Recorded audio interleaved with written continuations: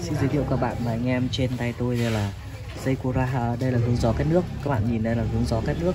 Được lắp ở phía dưới cắt nước của dòng xe Mitsubishi Triton phiên bản đời 2019 2020 thì à, nó lắp các tre phía dưới cắt nước để nó hướng cái gió vào trong cắt nước. Thì nó có một cái lượng gió vào cắt nước nhiều nhất của dòng xe Mitsubishi. Thì chất liệu được làm nhựa và nhựa là nhựa dẻo luôn các bạn đấy, nó tránh khi mà chúng ta va chạm thì nó hạn chế được những cái nó đảm bảo cái độ bền cho cái hướng gió cách nước này đấy.